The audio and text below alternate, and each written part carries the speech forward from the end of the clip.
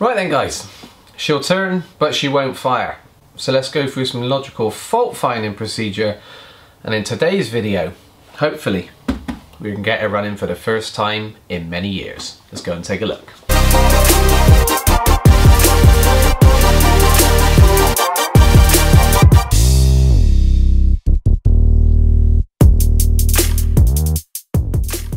Now then, a little bit of background on this one. It's had a new battery, the fuel level was low, but it's got some fresh, good quality fuel in it.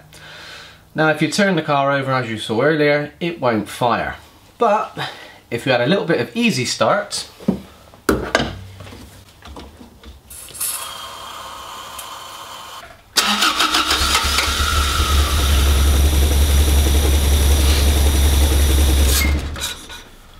the car will run.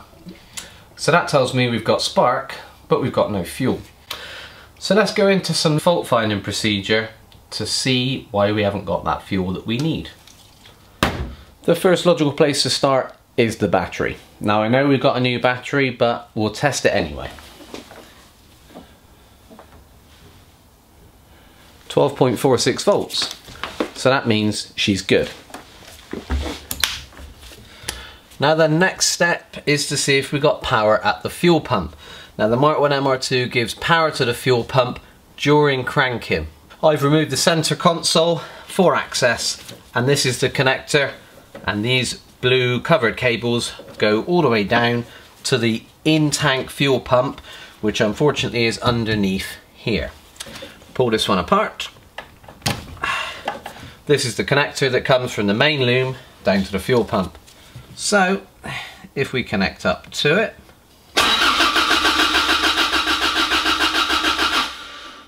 and we don't have it. So now we need to look at where that power comes from. The diagnostics box is located on the rear firewall in the engine compartment. And if we bridge out terminals FP and B plus with a link of wire, like so, and then turn the ignition on, we should have power at our fuel pump connection.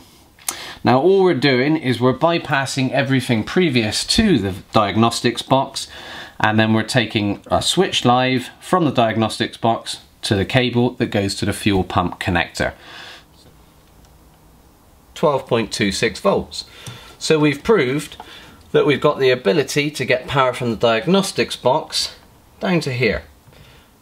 The next place we need to look is the circuit open relay which is inside the boot. The circuit open relay lives in the boot just down here on a bracket that goes onto the ECU but we need to remove it to take some resistance reading off of it and then to test it.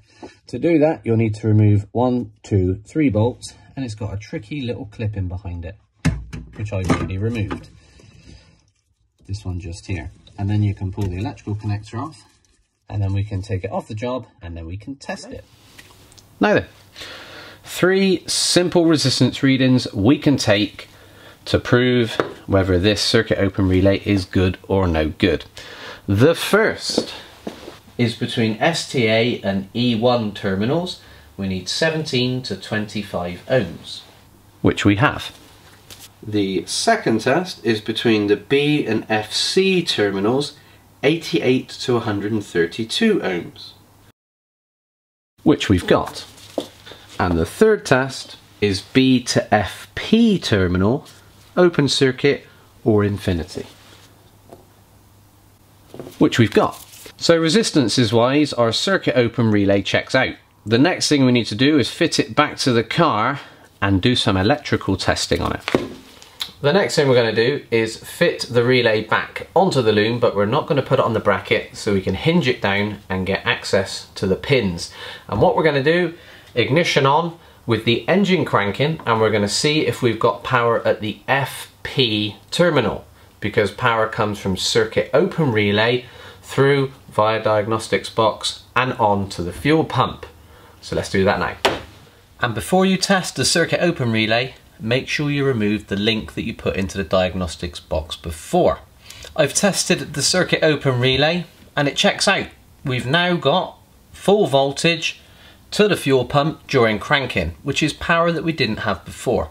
So whether the relay was sticking and us pulling it off and putting it back on and tapping it around and testing it has kicked it back into life, I wouldn't like to say. But we do now have the power that we need during cranking to the pump. Which puts me in a bit of a sticky situation really. And that sticky situation is that now I need to remove the fuel tank again.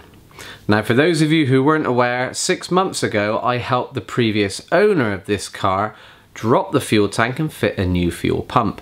And at that point I made two mistakes. The first was that I didn't bench test the new pump. I didn't check it off the job to check that it was pumping and not leaking and working. The second is that I didn't look inside of the fuel tank to see what condition it was in. So all I'm going to say guys is learn from my mistakes so that you don't have to go through what I'm about to go through for a second time. But because of the wonders of editing, the next scene you'll see will be the fuel tank removed from the car, sat alongside it on the floor, ready for some further testing. Right then, fuel tank removed, and trust me, that's not a job that you want to do more than once. I've just extended the cables that come from the fuel pump to two terminals that I'm going to tap onto the battery. I've checked the resistance and there is a resistance in the cables, so I would say we've got no open circuit and power should get down to the pump. Now then, one on there, nothing at all, which tells me that our new pump is at fault. Further inspection has shown not good signs, unfortunately. This is the new pump. And as you can see, it's covered in rust and it's horrible. And inside the tank, but it's very, very rusty in there. Not a good sign. Hmm, so there we have it. I now need a new fuel pump and a new fuel tank but you can save an old fuel tank. If you've got a rusty old tank, you can get slosh tank solution that you can put inside of the tank to save it and seal it. It's very effective, but it's not the cheapest. And for the price that you can get a good second-hand fuel tank for is how much the slosh tank solution is. And because these tanks aren't massively rare and they are available, that's the route I'm going to be going down. And regarding the six month old pump, it's day two now and I've cleaned the connectors and the pump's had a chance to dry out and settle. And now when I put a bit of power to it,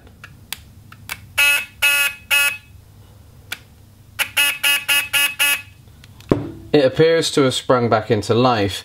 But one thing, plus, minus, plus, black, minus, red. Really? So in between the parts arriving and being ordered, I need to fill my time wisely. And when I was underneath the car, I had a little poke around on the floor pans on what looks like a little bit of surface rust, as it always does. And before you know it, I could feel some carpet. So I think the next thing you're gonna see from us is gonna be interior removed, cutting holes in the floor and welding in new patches. Lucky me. Now guys, if you enjoyed today's video and you found it helpful or informative, please give it a thumbs up. And if you wanna see more from the build, don't forget to subscribe. Have a wonderful couple of days and we'll see you very soon. Take care.